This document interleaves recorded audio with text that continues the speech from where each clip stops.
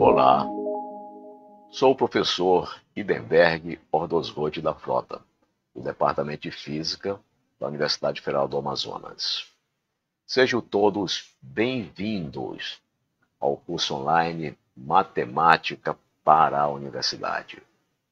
Eu terei o imenso prazer de compartilhar com vocês os meus conhecimentos em diferentes tópicos da matemática do ensino médio, que são básicos para as disciplinas dos cursos universitários nas áreas de ciências exatas e engenharias.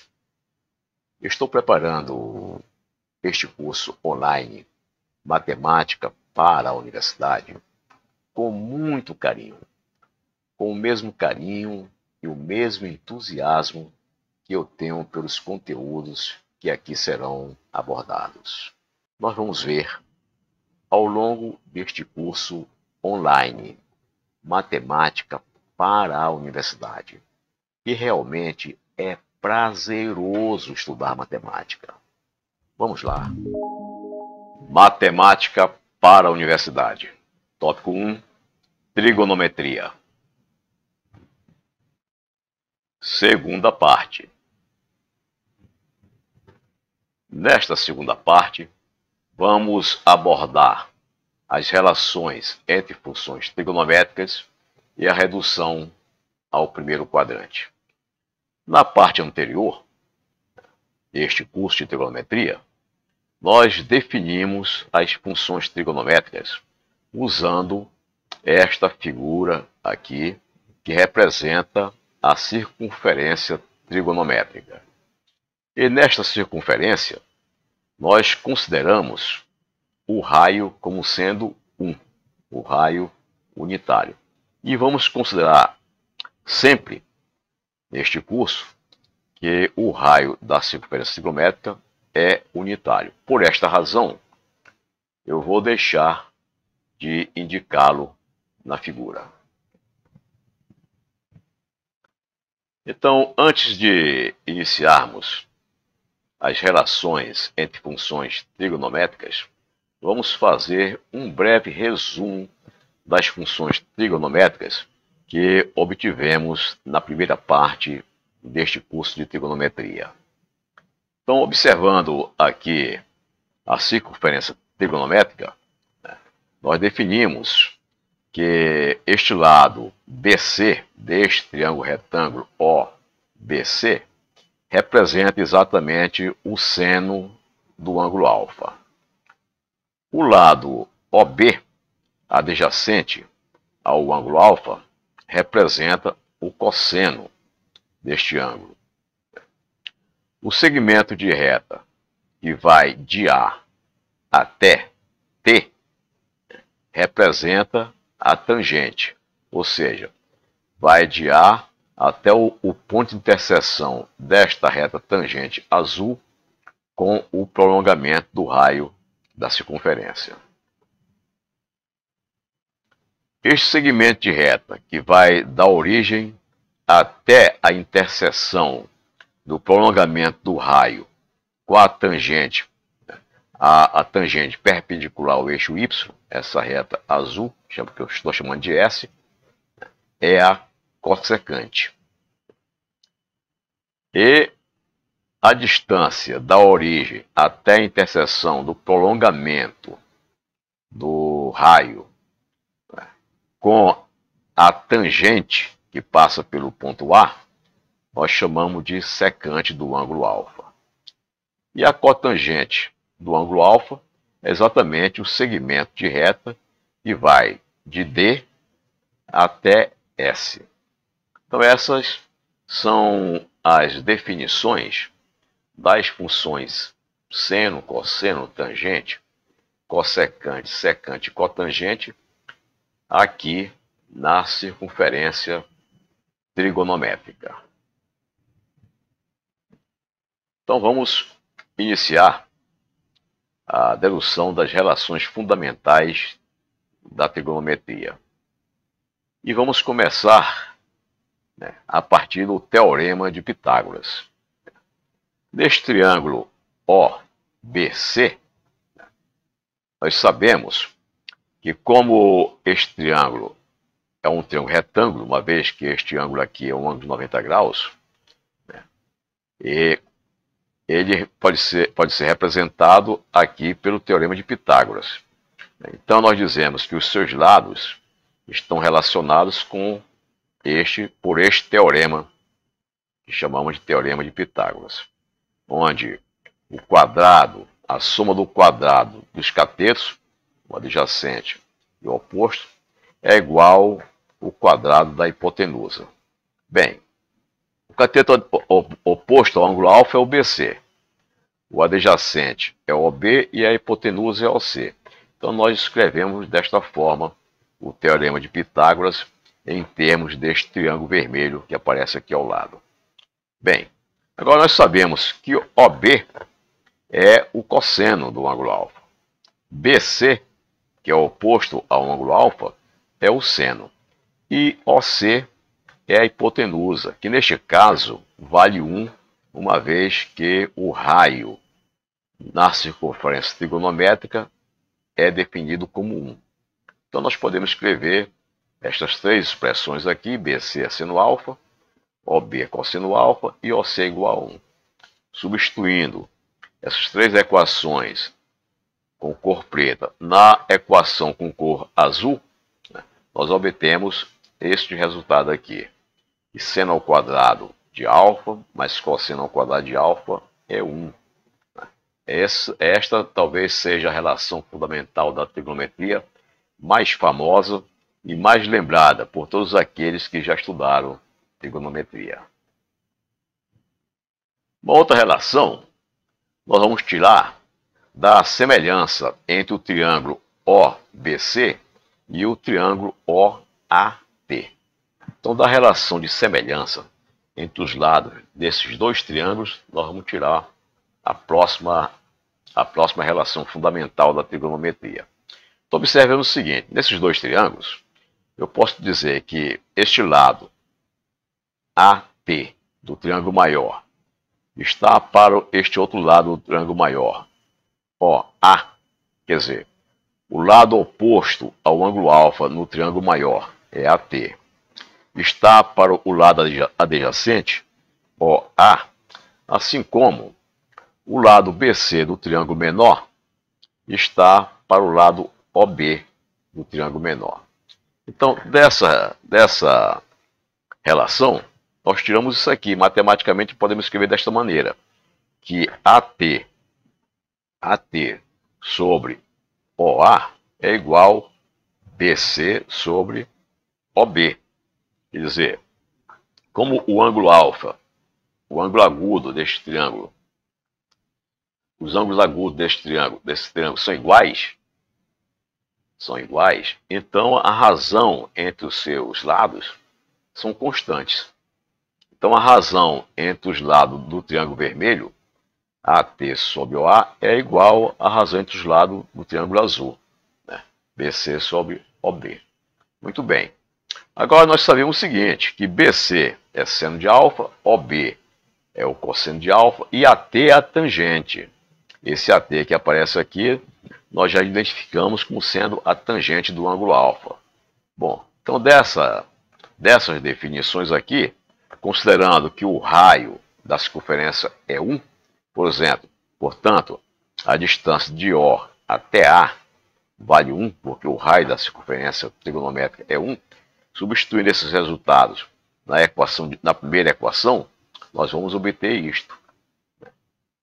Muito bem. E daqui nós chegamos à conclusão que tangente de alfa é seno de alfa sobre cosseno de alfa. Então essa é a segunda relação fundamental da trigonometria, que a tangente de alfa é igual à razão entre o seno e o cosseno do mesmo ângulo.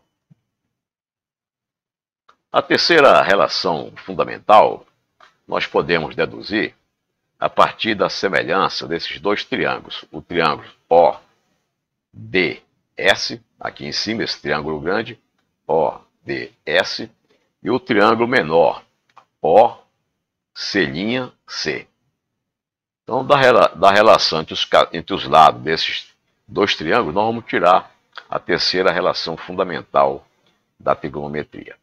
Então observe o seguinte, que esse lado, esse triângulo grande, o triângulo grande, o lado DS está para o lado OD, assim como o lado C' está para o lado OC'. Então, essa relação nós podemos escrever matematicamente desta forma. DS está para OD, assim como C, C' está para OC'. Então, agora identificamos que este lado C' é igual ao lado OB, portanto é o cosseno do ângulo alfa. O lado OC' é o lado é igual ao lado BC, portanto é o seno do ângulo alfa.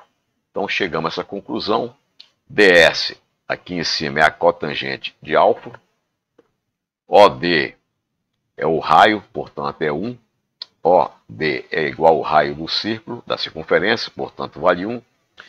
CC' é igual a BC, é o, é o C, C' é igual a OB, que é o cosseno de alfa, e OC' é igual a BC, que é o seno de alfa. Nós vamos substituir essas últimas equações, as quatro últimas equações aqui na primeira, e vamos ter este resultado. Simplificando, encontramos que cotangente de alfa é igual a cosseno de alfa sobre seno de alfa. Ou seja, a cotangente alfa é o inverso da tangente, uma vez que a tangente é seno de alfa sobre cosseno de alfa. Então essa é a terceira relação fundamental da trigonometria, que relaciona a cotangente alfa com o inverso da tangente alfa. A quarta relação fundamental, nós vamos tirar da semelhança desses dois triângulos, O, A, T e O, B, C. Então, vamos dizer aqui, podemos dizer que este lado do triângulo maior, OT, está para o lado menor, o lado do triângulo menor, OC, assim como este lado do triângulo maior, OA, está para este lado do triângulo menor, OB. E colocamos em forma matemática desta maneira. OT está para OC, OT está para OC, assim como OA está para OB. OT, OT é a secante de alfa, OC, OC é igual a OA, que é o próprio raio, que vale 1, e OB é o cosseno do ângulo alfa. Utilizando essas três equações na primeira, chegamos a este resultado aqui. E daí tiramos que a secante do ângulo alfa é o inverso do cosseno, 1 sobre cosseno do alfa. E a quinta relação de semelhança sai da relação entre os triângulos ODS e OC'. Um triângulo maior e um triângulo menor, eles têm o mesmo ângulo agudo, os mesmos ângulos agudos. Então nós podemos fazer essa, essa relação. Né? No triângulo grande, OS está para OD assim como no triângulo pequeno. OC está para OC'. E, colocando em termos matemáticos, escrevemos desta forma, e com isso sabemos que OS, OS é a cossecante do ângulo alfa, OC, OC é igual a OD, que é o raio da circunferência, que vale 1, e OC' é igual a BC, que é o seno do ângulo alfa. Substituindo as três últimas na primeira, encontramos esta equação. E daí tiramos que a cossecante do ângulo alfa é o inverso do seno do ângulo alfa. Com isso, nós encontramos as cinco relações fundamentais da trigonometria. partir de agora, vamos determinar as relações derivadas. Muito bem. Então vamos partir desta expressão aqui. 1 mais tangente ao quadrado, eu posso escrever desta forma que está do lado direito. Por quê? Eu sei que tangente, acabamos de ver, que tangente é igual seno sobre cosseno. Então, tangente ao quadrado de alfa é seno ao quadrado de alfa sobre cosseno sobre cosseno de alfa. Então, tangente ao quadrado de alfa é seno de alfa sobre cosseno de alfa ao quadrado. Isto aqui, a gente pode fazer uma transformação e escrever desta maneira. Né? Aqui é seno de alfa sobre cosseno de alfa ao quadrado. E é a mesma coisa que dizer o seno de alfa ao quadrado dividido por cosseno de alfa ao quadrado. Por isso eu estou escrevendo desta maneira que está aqui. Agora eu posso simplesmente multiplicar cosseno ao quadrado por 1 e somar com seno ao quadrado e deixar o cosseno ao quadrado aqui embaixo. Faço operação e desta operação eu observo que o que está aqui em cima, segundo aquela primeira relação fundamental da trigonometria, seno ao quadrado de alfa mais cosseno ao quadrado de alfa é 1. Né? Eu sei que isso aqui é 1 que nós tiramos do teorema de Pitágoras. Então, substituo essa expressão cosseno ao quadrado de alfa mais seno ao quadrado de alfa por 1, e nós vamos ter isso. 1 sobre cosseno quadrado de alfa, que é a mesma coisa que 1 sobre cosseno de alfa ao quadrado, mais 1 sobre cosseno de alfa é secante. Portanto, isso aqui representa secante ao quadrado. Então, com isso, essa parte vermelha do lado esquerdo é igual à parte vermelha do lado direito, ou seja, 1 mais tangente ao quadrado é igual a secante ao quadrado. Com isso, nós escrevemos essa relação derivada, que secante ao quadrado de alfa é 1 mais a tangente ao quadrado de alfa. Da mesma maneira, podemos fazer para a cotangente. 1 mais cotangente ao quadrado é igual a 1 mais o que com a cotangente? Já, já obtivemos anteriormente e cotangente é cosseno de alfa sobre seno de alfa. Muito bem. Então posso escrever desta maneira. 1 mais cosseno ao quadrado de alfa sobre seno ao quadrado de alfa. E aqui posso multiplicar tudo por seno ao quadrado em cima e repetir o seno ao quadrado embaixo. Fica desta forma. Aqui identificamos mais uma vez aquela primeira relação fundamental da trigonometria. Isto aqui vale 1. De maneira que 1 mais cotangente ao quadrado de alfa é exatamente a cossecante ao quadrado de alfa, uma vez que 1 sobre seno de alfa é a cossecante de alfa. Daí nós tiramos essa relação derivada. E cosseno ao quadrado de alfa é igual a 1 mais cotangente ao quadrado de alfa.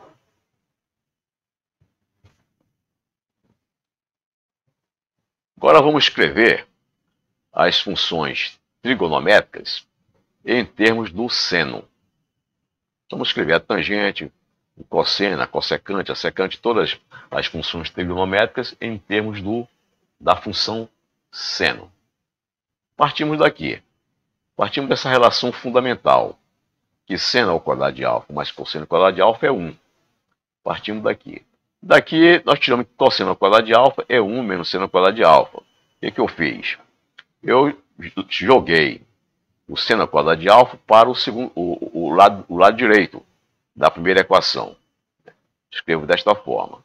Agora eu tiro raiz quadrada de cosseno quadrado de alfa, que vai dar cosseno de alfa, raiz quadrada de cosseno quadrado de alfa, cosseno de alfa, e aqui vai ficar mais ou menos esta raiz quadrada, 1 menos seno ao quadrado de alfa. Então nós podemos escrever simplesmente cosseno de alfa a partir desta equação. E cosseno de alfa pode ser mais ou pode ser menos a raiz quadrada de 1 menos seno quadrado de alfa. É mais ou menos, isso vai depender em que quadrante o ângulo alfa está. Em que quadrante esse ângulo alfa está.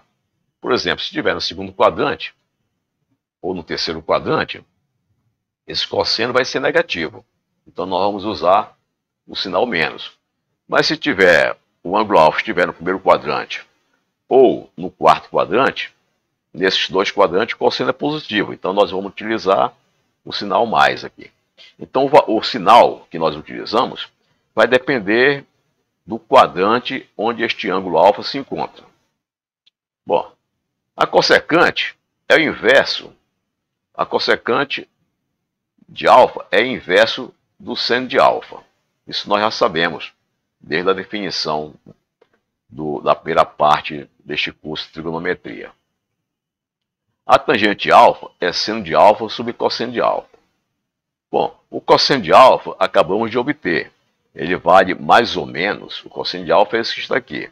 Ele vale mais ou menos raiz quadrada de 1 menos seno ao quadrado de alfa.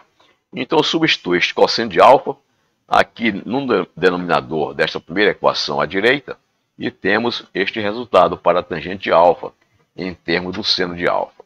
Então a tangente alfa vai ser mais ou menos seno de alfa, raiz quadrada de 1 seno quadrado de alfa.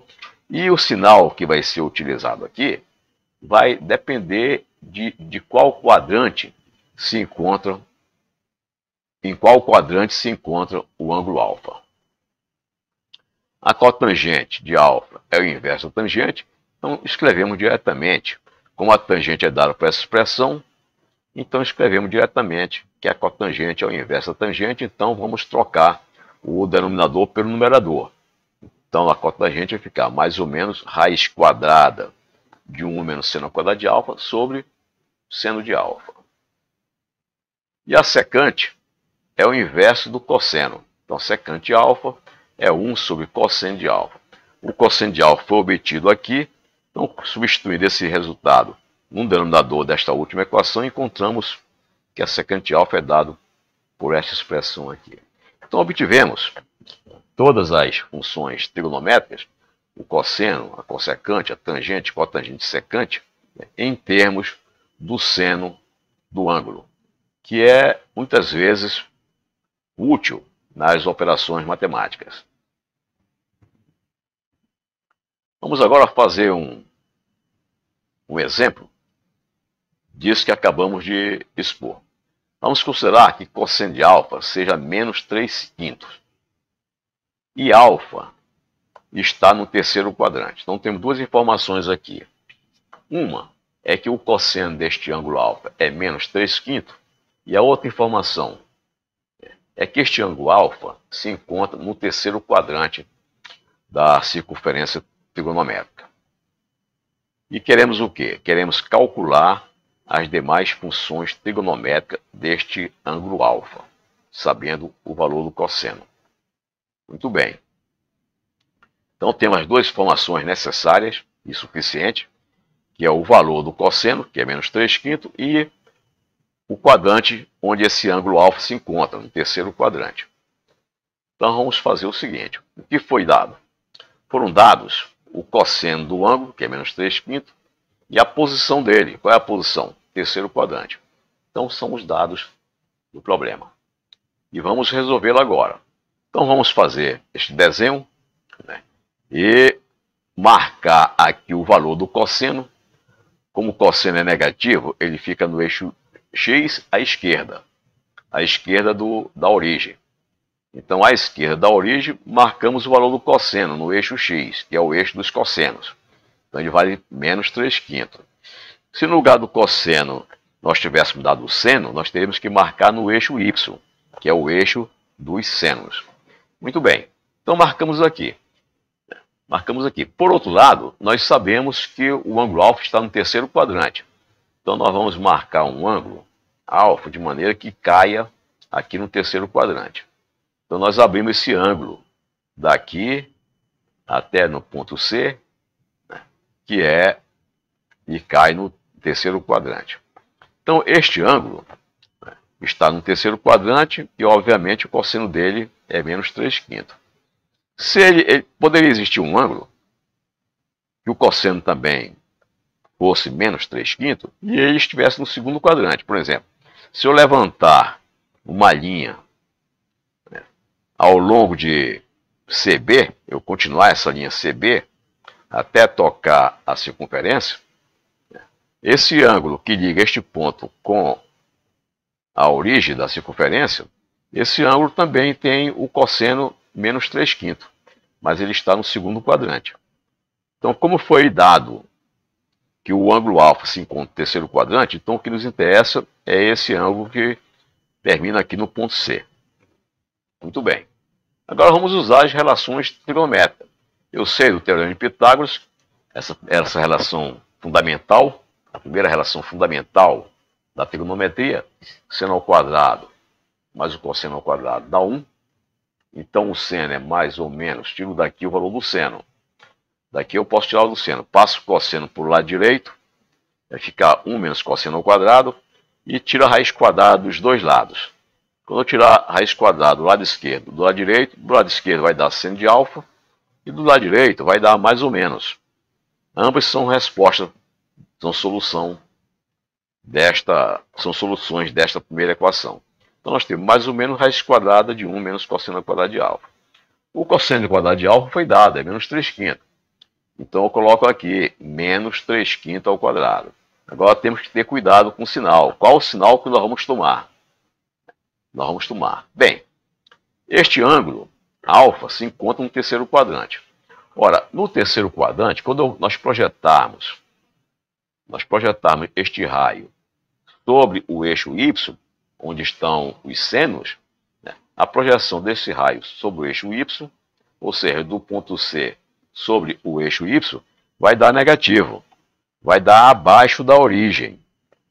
Vai dar num, num ponto do eixo y abaixo da origem. Portanto, aqui desta figura, nós vemos que o seno, o seno tem que ser negativo, porque o ângulo está no terceiro quadrante, a projeção a projeção deste raio no, no eixo Y, que é o eixo do seno, vai dar negativo. Então nós vamos tomar como resposta apenas o sinal menos. Então o seno de alfa seria 1 menos isso, fazendo a conta, vai dar menos 4 quintos. E o sinal menos daqui veio por inspeção.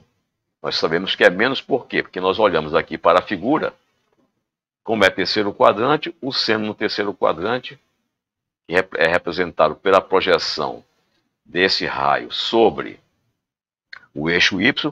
Essa projeção aqui é negativa, porque fica abaixo da origem, abaixo do centro do círculo. Então, daí, dessa inspeção que fizemos nessa figura, nós tiramos que o sinal que está aqui tem que ser o negativo. Então, seno de alfa é menos 4 quintos e está determinado.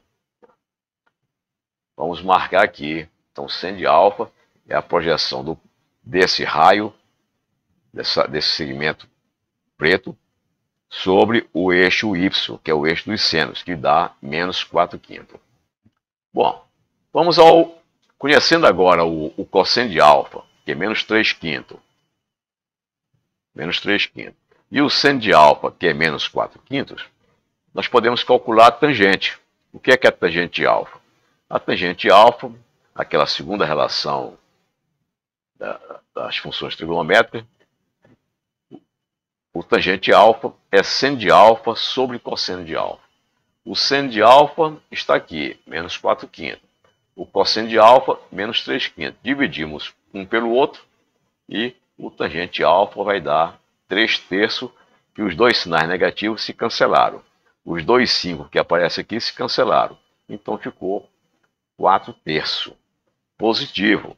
De fato, a tangente alfa é positiva porque se nós prolongarmos este, este raio, ele vai tocar, este raio, se nós prolongarmos, ele vai tocar a tangente que passa aqui neste ponto, lá em cima, acima do eixo x. Portanto, a tangente de alfa é positiva. Bom, então marcamos aqui prolongando este raio até tocar com o eixo das tangentes, este a prolongamento do raio toca o eixo das tangentes nesse ponto T. Esse ponto T está acima da origem, portanto a tangente é positiva. Bem, então nós temos o cosseno alfa, o seno alfa e a tangente alfa. Né? Essas três funções trigonométricas para aquele ângulo alfa. Quanto é a secante? A secante é o inverso do, do cosseno. Então, a secante alfa vai ser 1 sobre cosseno. Quando dividir 1 pelo cosseno, que é menos 3 quintos, nós vamos ter o inverso dessa fração, que é menos 5 terços. A cossecante alfa é o inverso do seno de alfa. Ora, o seno de alfa é dado por menos 4 quintos. Então, invertendo o menos 4 quintos vai dar menos 5 quartos. E a cotangente é o inverso da tangente. Ora, a tangente é 4 terços. Então, a cotangente, invertendo esta fração, 4 terços, a, a cotangente passa a ser escrita como 3 quartos. Então, assim, nós determinamos todas as funções trigonométricas deste ângulo que está no terceiro quadrante e cujo cosseno vale menos 3 quintos. Vamos a este segundo exemplo de relações entre funções trigonométricas. Vamos verificar esta identidade aqui. Isso aqui nós chamamos de identidade. Estamos dizendo aqui que tangente alfa mais cotangente de alfa é igual secante alfa vezes cossecante alfa. Será que isso aqui realmente é uma identidade? O que nós fazemos para saber? Nós desenvolvemos dois lados até chegar a uma situação que nós mostremos que esses dois lados são iguais ou se esses dois lados são diferentes. Vamos desenvolver os dois lados simultaneamente até encontrar uma relação entre eles que possa identificar se eles são iguais ou se eles são diferentes. Se eles forem iguais, nós dizemos que essas, essas duas expressões são idênticas. Se não, não são idênticas. Então vamos lá. Vamos olhar aqui para, para esses dois lados e observar o seguinte. O tangente alfa, esse tangente alfa, eu posso substituir por seno de alfa sobre cosseno de alfa. A cotangente de alfa, eu posso substituir por cosseno de alfa sobre seno de alfa. A secante alfa, eu posso substituir por, pelo inverso do cosseno de alfa. E a cossecante de alfa eu posso substituir pelo inverso do seno de alfa. Muito bem. Então agora nós temos tudo em termos do seno e do cosseno. E vamos simplificar esta equação que está aqui na segunda linha. Eu observo o seguinte, ó. esse lado esquerdo eu posso escrever desta maneira. Ó. Pego o mínimo múltiplo comum dessas duas frações, é seno alfa cosseno alfa, repito aqui, daí eu faço seno alfa cosseno alfa dividido por cosseno dá seno, vezes seno de cima, fica o seno ao quadrado. Seno alfa cosseno alfa dividido por seno de alfa dá cosseno. Cosseno vezes o cosseno no numerador dá cosseno ao quadrado. Eu obtenho isso aqui. Então, dessas, dessas duas frações, eu obtenho estas duas frações que estão aqui. E eu mantive da mesma forma o lado direito. Agora, aqui eu tenho um denominador comum na primeira fração e na segunda fração, que é o seno alfa com seno alfa. Então, eu posso juntar essas duas frações e deixar só com um denominador. Então, posso repetir o denominador e somar os dois numeradores. Repetir o denominador, somei os dois numeradores. Agora, aqui em cima, no numerador da fração da esquerda, nós observamos que aqui tem uma relação fundamental da trigonometria, que é aquela que o seno ao quadrado de alfa mais cosseno ao quadrado de alfa é 1. Nós temos essa relação aqui. Então, vou usar esta relação, substituir a soma do quadrado do seno e do cosseno por 1. Ficamos nessa expressão aqui. Então, aqui, né, nós concluímos. Por quê? Porque aqui nós identificamos que o lado esquerdo é exatamente igual ao lado direito. Então, com isso, nós verificamos a identidade desta primeira equação que estava em preto aqui na primeira linha. Esse exemplo que fizemos aqui para verificar a identidade, nós fazemos usando a mesma, a mesma tecnologia, digamos assim, a mesma manha, como a gente fala, né? o mesmo jeitão, para qualquer outra identidade que nós formos identificar. Nós temos uma equação que tem dois lados, nós queremos saber se o lado esquerdo é idêntico ao lado direito. O que vamos fazer? Vamos reduzir essas expressões às funções trigonométricas mais simples. A seno alfa, cosseno alfa, etc. Né? E vamos usando as propriedades, aquelas relações que existem entre as, as funções trigonométricas que nós acabamos de aprender, aquelas várias relações que existem entre elas, vamos substituindo até chegar a uma situação que nós possamos identificar se o lado esquerdo é igual ao lado direito ou, ou se o lado esquerdo é diferente do lado direito. Bom, se os dois lados são iguais, significa o quê? Que aquela expressão inicial, né, os dois lados, aquelas duas funções, lado esquerdo e lado direito, são idênticas. Se ao final das contas observarmos que os dois lados são diferentes, do lado esquerdo é diferente do lado direito, que não é o caso aqui, então nós dizemos que aquelas duas expressões, do lado esquerdo e do lado direito, não são idênticas. Muito bem. Então vamos à redução ao primeiro quadrante. Né? E nessa redução ao primeiro quadrante, vamos começar com a relação entre dois ângulos simétricos. Então, olhemos aqui esta figura do lado direito. Né? Nós temos dois ângulos. Esse ângulo subtendido pelo arco AC como ele está subtendido pelo arco AC, esse ângulo é positivo, porque o movimento aqui é para anti, no sentido anti-horário. E temos esse segmento de arco BD. Esse, esse segmento de arco, como segue de B para D, ele tem um sentido horário, portanto ele é negativo. Muito bem. Mas esses dois segmentos, BC e BD, são iguais eles são iguais. BC igual a BD. Portanto, nós dizemos que o ângulo alfa e o ângulo menos alfa são simétricos em relação ao eixo x. Eles são exatamente simétricos em relação ao eixo x. Significa o quê?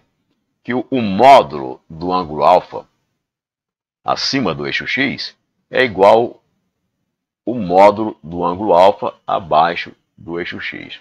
Então nós chamamos que é, nós dizemos que eles são simétricos, né? Nós dizemos que são simétricos em relação a esse eixo x, que passa exatamente entre os dois.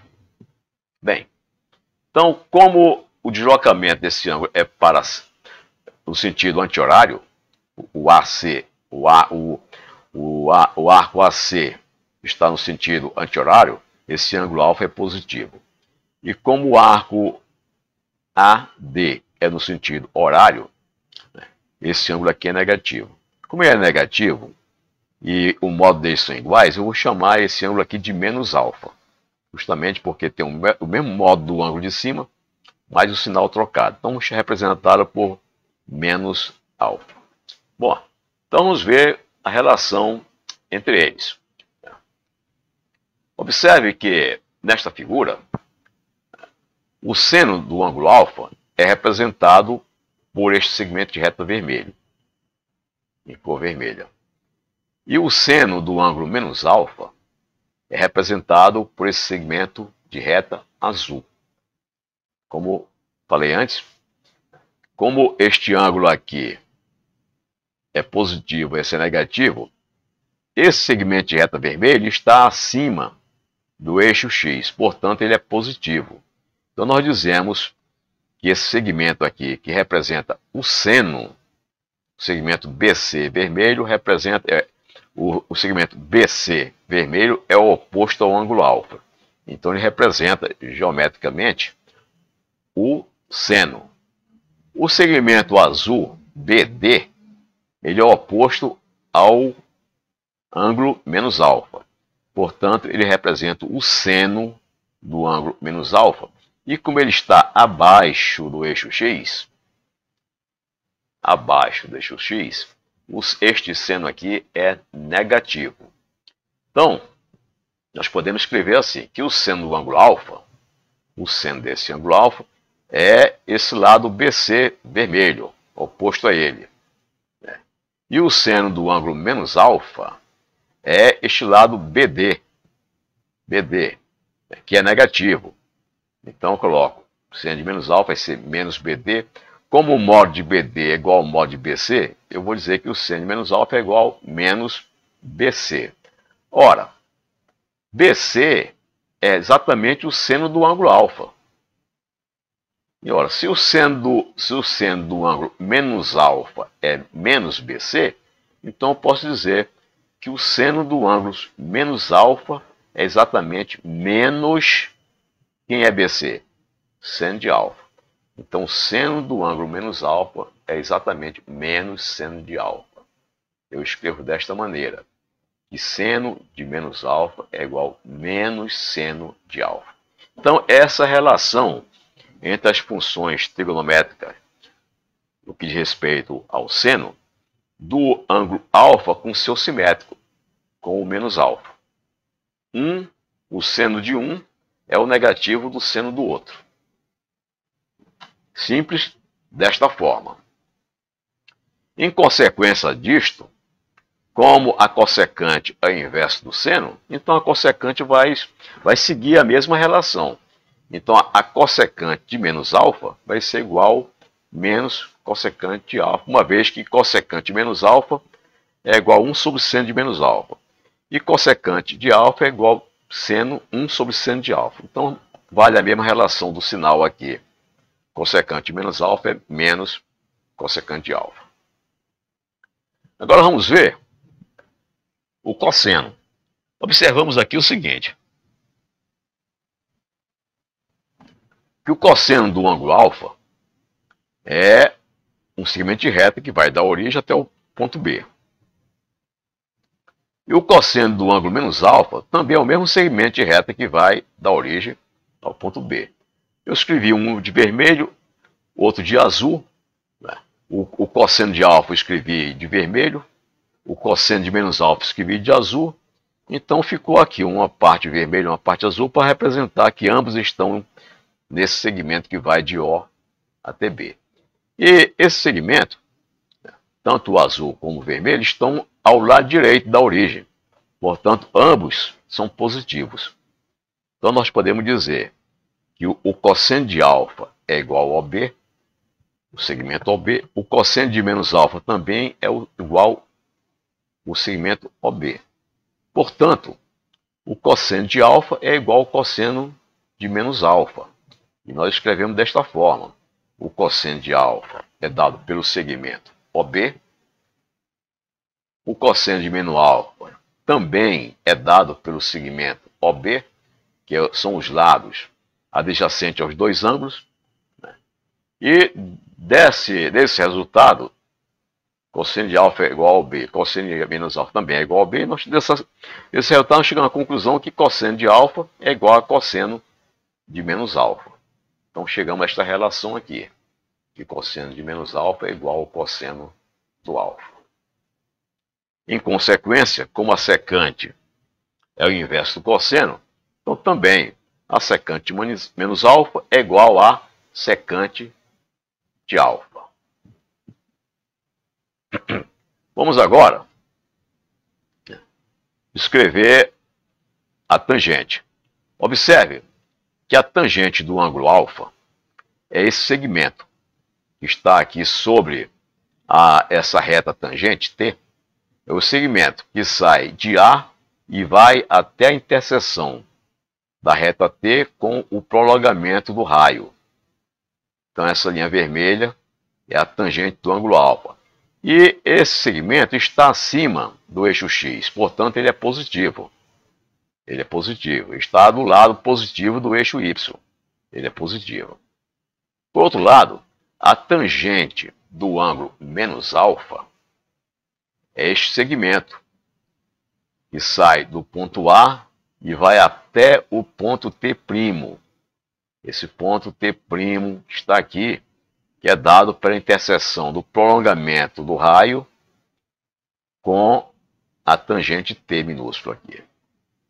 Então, nós observamos, pela simetria dos dois ângulos, que o segmento AT é igual ao segmento AT'. Então, nós podemos dizer que a tangente do ângulo alfa é igual menos a tangente do menos alfa. Por quê? Porque os dois segmentos são iguais em módulo, mas o azul está para o lado de baixo do eixo X e o vermelho para o lado de cima. Então o vermelho é positivo e o azul é negativo. Ele fica do lado negativo do eixo Y. Portanto, são iguais em modos com os sinais trocados. Então nós podemos dizer que a tangente do ângulo alfa é igual menos a tangente do ângulo menos alfa. Então escrevemos dessa maneira. A tangente de alfa é AT, a tangente menos alfa é menos AT', mas o modo de AT' é igual ao modo de AT. Então eu posso escrever que isso aqui é igual a menos AT.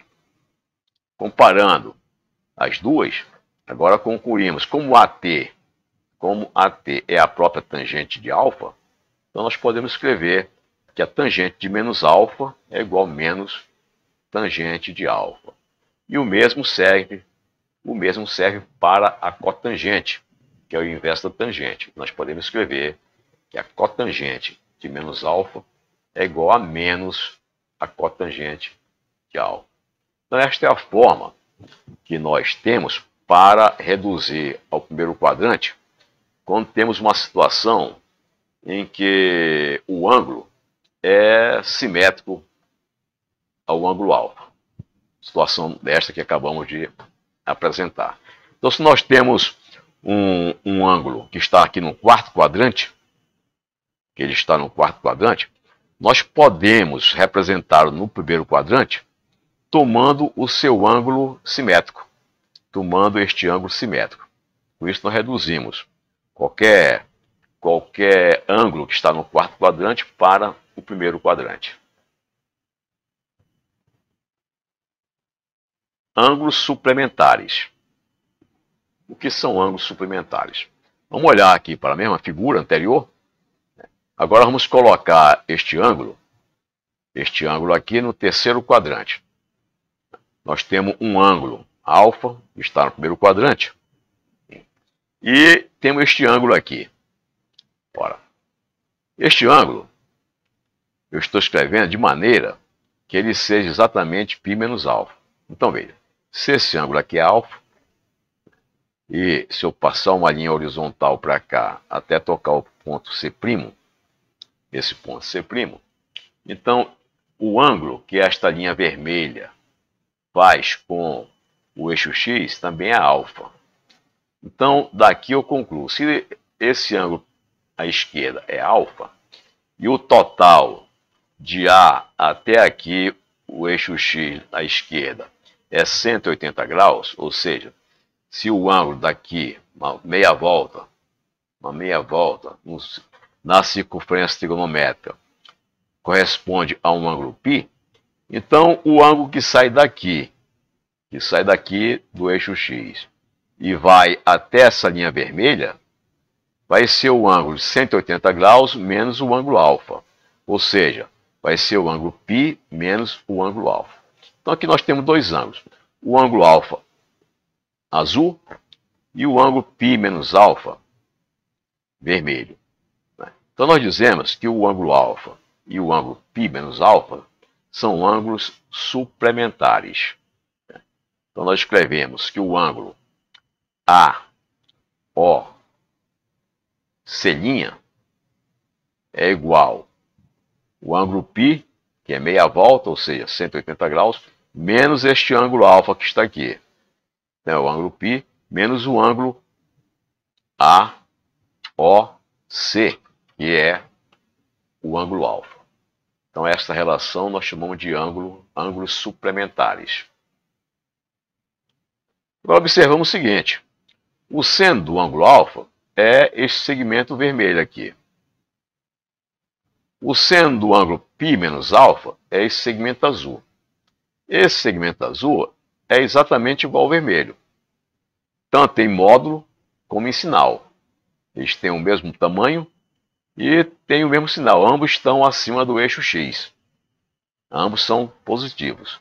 Então nós podemos dizer que o seno de π menos alfa é exatamente igual o seno de alfa. Então posso escrever dessa maneira, que seno de π menos alfa é igual ao segmento B', C', que é igual ao segmento BC. Né? Portanto, como BC, como o segmento BC é o próprio seno do ângulo alfa, nós concluímos isso aqui, que seno de π menos alfa é igual seno de alfa. Então, se nós temos um ângulo no terceiro, no segundo quadrante, e queremos escrever o seno desse ângulo em termos de um ângulo no primeiro quadrante, nós fazemos desta maneira. Fazemos exatamente dessa maneira que está aqui. Em consequência disso, tiramos a cossecante, que é o inverso do seno. Cossecante de menos alfa é igual ao cossecante de alfa. Agora vamos ver o cosseno. Observe que o cosseno do ângulo alfa, cosseno desse ângulo alfa, é esse segmento OB, que eu pintei de vermelho.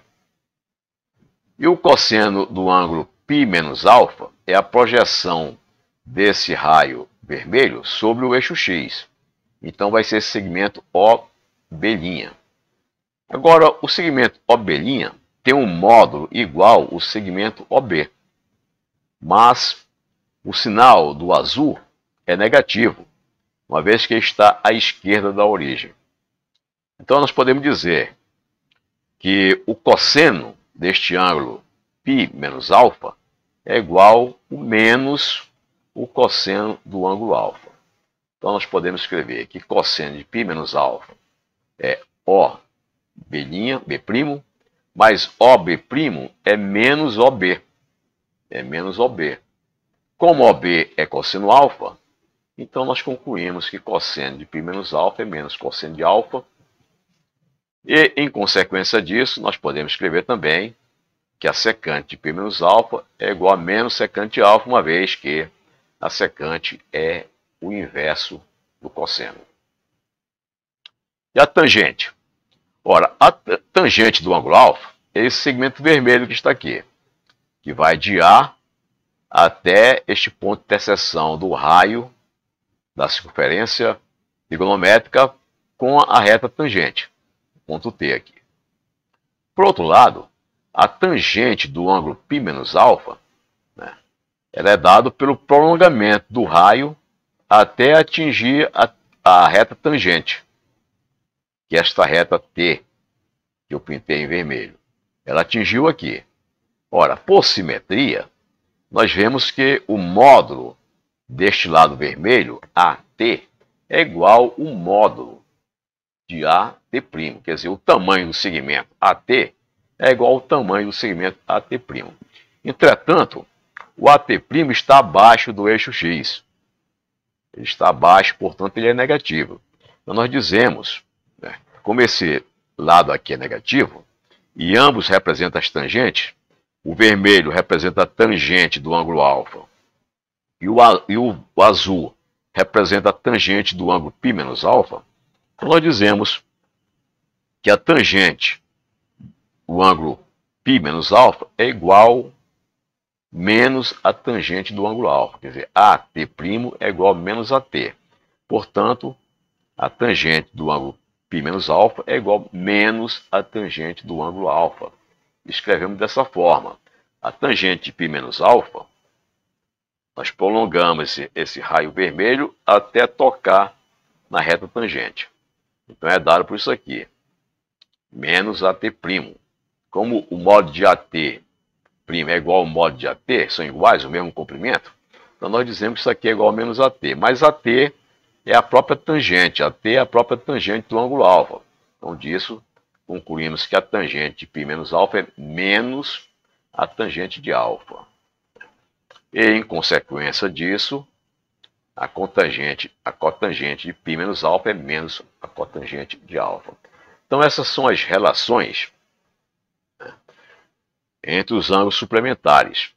Nós podemos reduzir um ângulo no segundo quadrante para um ângulo no primeiro quadrante, fazendo essas transformações que acabei de mostrar para vocês. Vamos agora aos ângulos que diferem de π radianos. Então, aqui na figura, Estou mostrando uma situação em que o ângulo alfa difere do ângulo desse outro ângulo por um valor de π radianos. Então veja, o ângulo alfa é esse que está azul aqui. Se a diferença desse ângulo alfa para esse ângulo maior é, é de π radianos, significa o quê? Que esse ângulo maior tem π mais alfa radianos. Tem π mais alfa radianos. Por quê? Para eu sair desse ponto e chegar aqui, nesse, nesse raio, esse raio que é um prolongamento do raio do ângulo alfa, eu tenho que vencer primeiro o ângulo alfa, depois vencer mais π, que é uma meia volta, meia volta em torno desse, desse, desse eixo inclinado. Então, alfa mais π. De maneira que o, este ângulo, um raio vermelho, ele tem um valor alfa mais π. Né? Então, ele difere de π. Se eu subtrair este ângulo π mais alfa do ângulo alfa, vai sobrar π. Então, ângulos como esse, né, eles diferem de um valor π. Nós dizemos que esse, o ângulo que está no terceiro quadrante, esse ângulo que está no terceiro quadrante, ele pode ser reduzido ao primeiro quadrante, uma operação tipo esta aqui. Encontrando no terceiro quadrante um ângulo cuja soma dele com π dê o primeiro ângulo. Então, vamos encontrar a maneira de nós reduzirmos um ângulo que está no terceiro quadrante para um ângulo no primeiro quadrante. Como é que fazemos isso? Observamos aqui que o ângulo A, O, C', o ângulo A, O, C', quem é o ângulo A, O, C'? É o, este ângulo aqui, ó, e gira em torno de O até C'. Esse ângulo, que gira em torno, sai de A, gira em torno de O até C', ele é igual esse ângulo alfa, que é o ângulo que vai A, O, C, quer dizer, que gira em torno de O até C, mais 180 graus, que esse, que esse trecho aqui. 180 graus esse trecho, ou seja, mais π radianos. Então nós podemos escrever que este ângulo é igual a π mais este, e nós dizemos que esses ângulos são ângulos suplementares. São ângulos suplementares.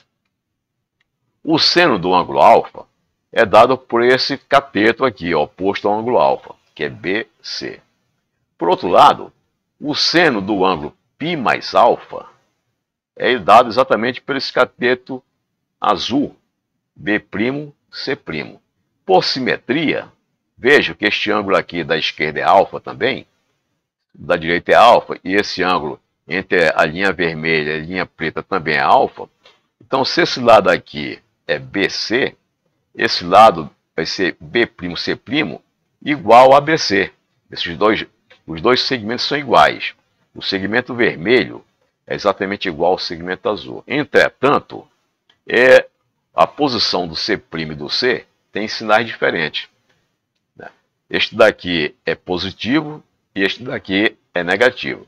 Então nós podemos dizer que o seno de alfa é BC, positivo, e o seno de π mais alfa é B'C', negativo. Então eu posso escrever que seno de π mais alfa é o negativo desse número aqui, menos B'C', mais B'C', esse segmento, o módulo dele é exatamente igual a BC. Então ficou menos BC' é igual a menos BC. Então com isso, quem é BC? BC é o seno do ângulo alfa. Aí com isso nós chegamos à conclusão que BC, como BC é seno do ângulo alfa, o seno de π mais alfa vai ser igual a menos seno de alfa. E o mesmo comportamento existe para a cossecante.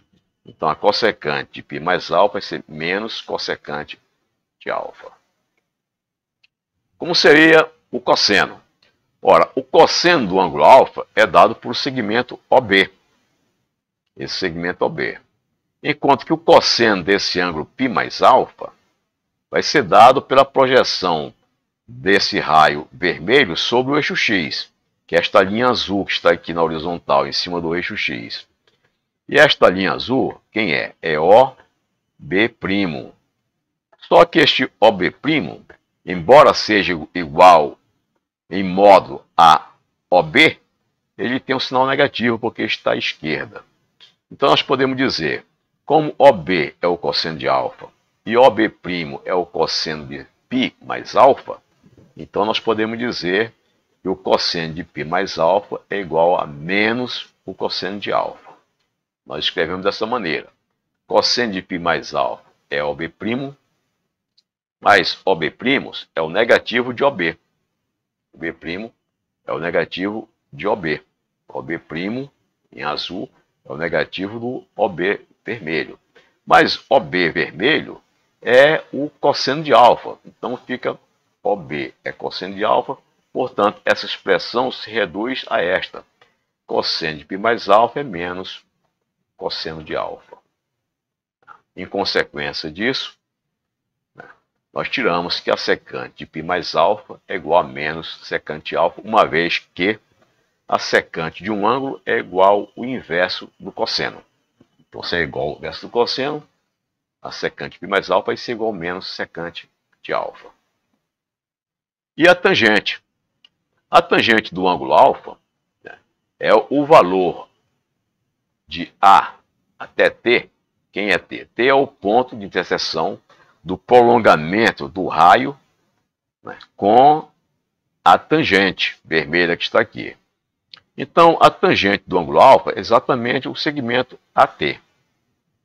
Agora, a tangente do ângulo π mais alfa, como é que nós encontramos? Nós pegamos aqui o raio o raio vermelho prolongamos. Nós vamos prolongar esse raio até tocar, tocar na reta tangente aqui. Ele tocou nesse mesmo ponto, no ponto T. Então eu, eu, eu, eu, eu pintei um de vermelho, a tangente de alfa eu pintei de vermelho, e a tangente de π mais alfa eu pintei de azul. Por isso, uma parte está pintada de azul, outra de vermelha, porque as duas tangentes coincidem. Elas são exatamente iguais, tanto em módulo como em sinal. Tanto em módulo como em sinal. Então, daí nós escrevemos que a tangente π mais alfa é AT. AT, por sua vez, é a tangente desse ângulo alfa. Portanto, a tangente π mais alfa é igual a tangente alfa. Como a cotangente é o inverso da tangente, a partir desta equação, nós podemos escrever que cotangente π mais alfa é igual a cotangente de alfa. Então essas são as relações, as, as relações trigonométricas de um ângulo no terceiro quadrante com um ângulo no primeiro quadrante. Agora vamos aos ângulos complementares. Olhando aqui a figura, observamos que temos dois triângulos. O triângulo OB', C' e o triângulo OBC. Este segmento azul delimita este ângulo alfa e o segmento vermelho delimita este ângulo π sobre 2 menos alfa. Nós dizemos que o ângulo alfa e o ângulo π sobre 2 menos alfa são ângulos complementares. Se este ângulo é alfa, observemos o seguinte, que nesse triângulo OB', C', este ângulo agudo também será alfa. Por quê? Porque este triângulo OB', C', possui um ângulo, um ângulo agudo de π sobre 2 menos alfa. Ora, este ângulo aqui à direita é de 90 graus. Como o triângulo retângulo tem 180 graus, o que ocorre com este ângulo, este outro ângulo agudo? Ele tem que ser alfa, de maneira que a soma dos três ângulos dê os 180 graus.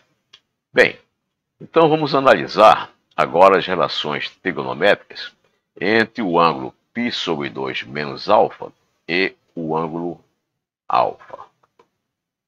Vamos olhar este triângulo, o triângulo O, B, C, e o outro triângulo O, B' e C'. Esses dois triângulos possuem os ângulos agudos iguais. Ângulos agudos iguais. Além disso, eles possuem a mesma hipotenusa. A mesma hipotenusa. Portanto, esses dois triângulos são exatamente iguais. São dois triângulos iguais. Né? Bem, então, desta figura, nós podemos observar o seguinte, que o seno deste ângulo π sobre 2 menos alfa é dado por este, por este segmento de reta B', C'. Observe que B', C' está oposto a este ângulo π sobre 2 menos alfa que nós estamos marcando com esta seta vermelha. Por outro lado, este lado, este cateto B', C', né, ele é exatamente igual a este cateto OB do segundo triângulo. Por quê? Esses dois triângulos são iguais. Né? O cateto B', C' é o cateto adjacente ao ângulo alfa, nesse triângulo cuja hipotenusa é vermelha. Por outro lado, o cateto OB é o cateto adjacente também ao ângulo alfa no triângulo cuja hipotenusa é azul. Como os dois triângulos são iguais, né, os lados adjacentes aos ângulos são iguais também. Então nós podemos escrever isso. Né. Além disso, este lado OB é exatamente o cosseno do ângulo alfa, que é a projeção deste segmento azul sobre o eixo x. Então nós temos esta relação aqui. Daí nós tiramos que o seno de π sobre 2 menos alfa é igual ao cosseno de alfa. Obtemos esta relação e, como consequência dela, tiramos também que a cossecante de π sobre 2 menos alfa é igual a secante de alfa. Agora vamos ao cosseno. Observem o seguinte, que o cosseno do ângulo π sobre 2 menos alfa é a projeção deste segmento vermelho sobre o eixo x. Então, a projeção do segmento vermelho sobre o eixo x é exatamente OB'. Agora, OB' é o, o cateto oposto ao ângulo alfa que tem a hipotenusa vermelha. Ora, por outro lado, o cateto BC é o cateto oposto ao ângulo alfa com a hipotenusa azul. Então nós dizemos que esses dois catetos são iguais. Então, OB',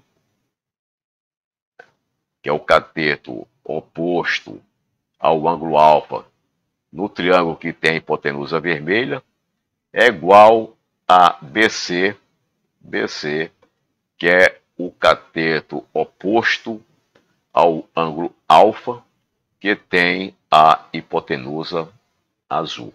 Portanto, eles são iguais. E, por outro lado, BC, BC é exatamente o seno do ângulo alfa. Então, nós escrevemos que cosseno de π sobre 2 menos alfa é exatamente o seno de alfa. E a secante de π sobre 2 menos alfa é igual a cossecante de alfa, uma vez que a secante é o inverso do cosseno e a cossecante é inversa do seno. Agora vamos verificar a tangente de π sobre 2 menos alfa. A tangente desse ângulo π sobre 2 menos alfa é dado pela interseção do prolongamento da linha vermelha até tocar no eixo das tangentes. Então, é o segmento de A a T', que é o que eu escrevi aqui. Acontece que esse segmento A, T', da relação desses triângulos, é igual ao segmento A'S. Observemos que aqui nós temos um triângulo O, AT', que é igual a esse triângulo OA'S. Então, esse lado A'S é exatamente igual a esse lado AT'. Ocorre que esse lado AT' é a tangente do ângulo π sobre 2 menos alfa, enquanto que o lado A'S é a cotangente desse ângulo alfa azul aqui.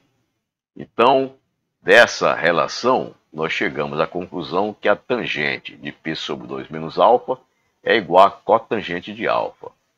Como a cotangente é a inversa da tangente, nós podemos escrever também que a cotangente de π sobre 2 menos alfa é igual a tangente de alfa. Vamos ver um exemplo da redução ao primeiro quadrante. Primeiro exemplo. Vamos reduzir ao primeiro quadrante esse ângulo 2π sobre 3. Vamos reduzir ao primeiro quadrante o ângulo 2π sobre 3. Ora, 2π sobre 3, passando para grau, representa 120 graus. Então, 2π sobre 3, com o π vale 180 graus, o π vale 180 graus, 180 dividido por 3 dá 60, 60 multiplicado por 2 dá 120. Então, 2π sobre 3 radianos representa 120 graus. Ora, 120 graus está no segundo quadrante. 120 graus é 90 mais 30. Então, ele está no segundo quadrante. Então, eu escrevo assim. Então, eu vou usar esta representação aqui para quando o ângulo está no segundo quadrante. Bem, então π menos alfa, π menos alfa, é 2π sobre 3. Eu quero reduzir para o primeiro quadrante. Então eu quero né, reduzir este número aqui para o primeiro quadrante. Então eu quero que π menos alfa seja 2π sobre 3. Muito bem. Então, o alfa vai ser π menos 2π sobre 3.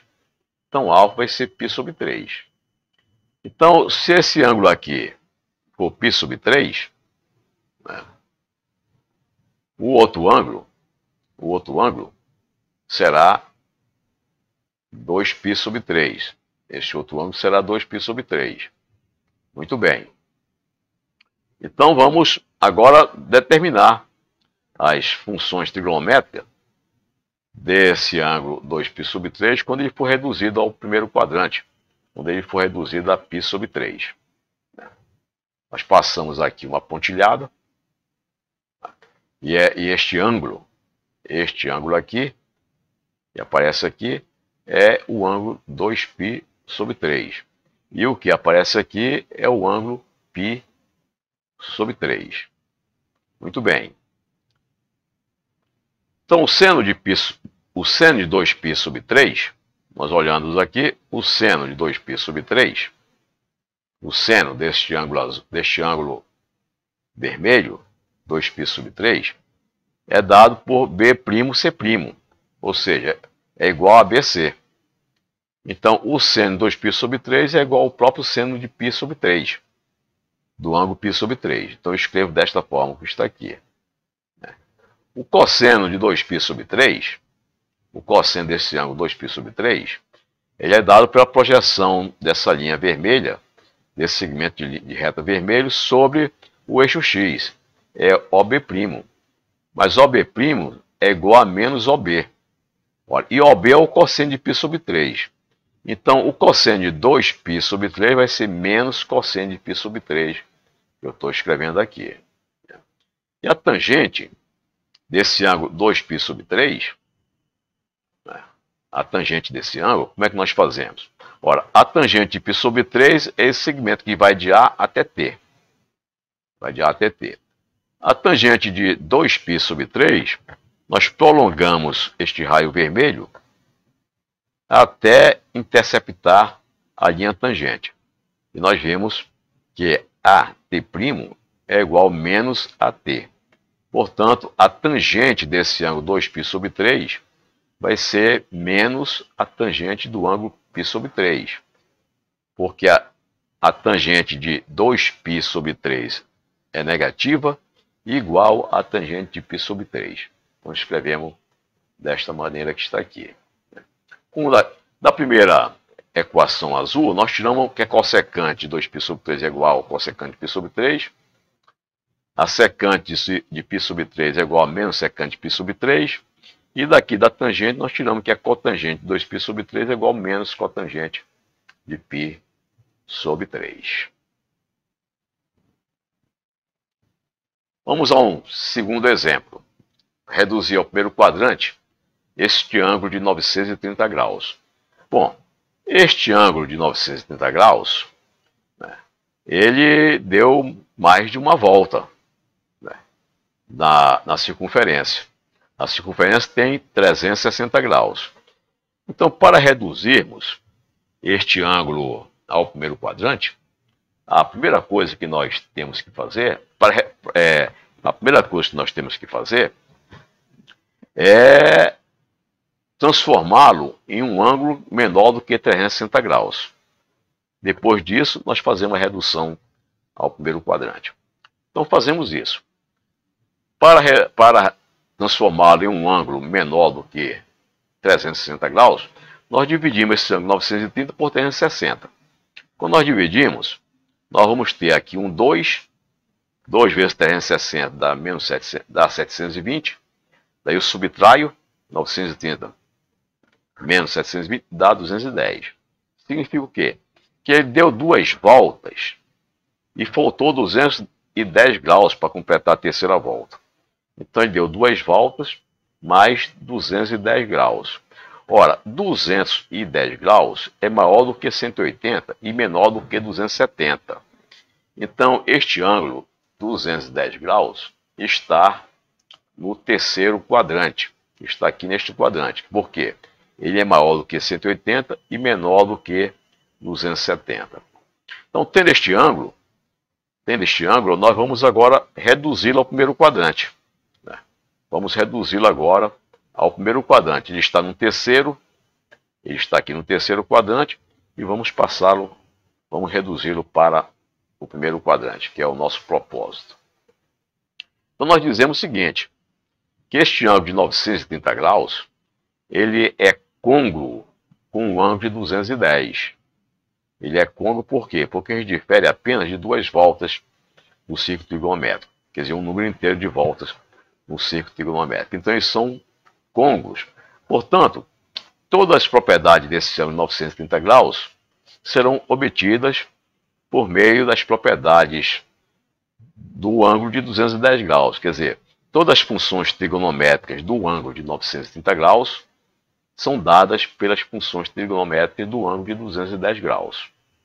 Bom, ora, π mais alfa, nessa situação aqui, π mais alfa é 210 graus. π mais alfa é esse ângulo que sai daqui até o terceiro quadrante, é 210 graus. Daqui nós temos o π é 180, 180 mais alfa é igual a 210, portanto daqui tiramos que o alfa é 30 graus. Obtemos que este ângulo alfa aqui é 30 graus. Bem, então, agora nós podemos determinar as funções trigonométricas desse, desse ângulo, o 30 graus porque com ela nós obteremos a função trigonométrica do ângulo de 210 graus. Ou seja, nós vamos reduzir o ângulo de 210 graus ao primeiro quadrante. Muito bem. Então, o seno de 930 graus, o seno de 930 graus, é igual ao seno de 210 graus, porque são côngruos.